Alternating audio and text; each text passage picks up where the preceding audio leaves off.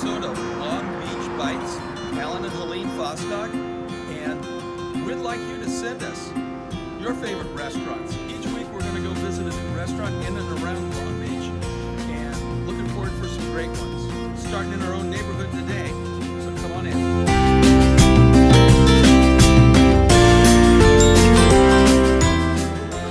Here we are at EJ Malloy's. I gotta tell you, they just redid it. They gave it a facelift, they made it look great. Things about this restaurant is we can walk here. We can even walk the dog here and eat on the patio. I gotta tell you, this used to be Russell's Hamburgers. Russell's is a famous Long Beach eatery, and then it became EJ Malloy's, and now they've just redone it.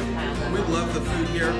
Some of the food like hot wings and gorgonzola fries, which are not on the health food list, so we decided to balance it out with some kale salad and don't know what that is, buffalo chicken salad, something like that. Mike got this western bacon cheeseburger, so we're gonna have a good lunch. It might even last till dinner.